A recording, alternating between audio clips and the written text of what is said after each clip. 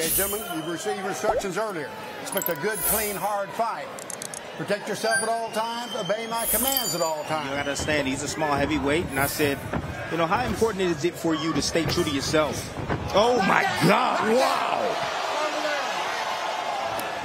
Here comes the Olympian, Torrez. Young man from Tulare, California, big left hand and a huge right, and it is a face plant. Just started off. You know, you got Torrez Jr. just being aggressive. I'm still a little bit buzzed by that that punch right there, that first punch that lands in the corner. Man, my nerves are. Trust me, people. I, you know, being in that ring, this is one of the things that I was always worried about.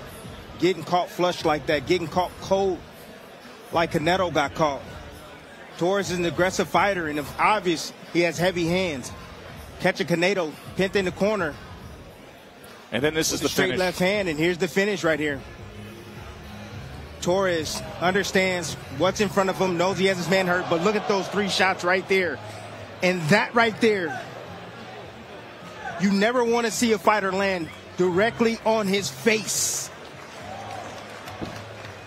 I'll call that a level four knockout win right there.